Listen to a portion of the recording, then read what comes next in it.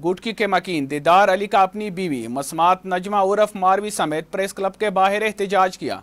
मजीद जानते इस रिपोर्ट में।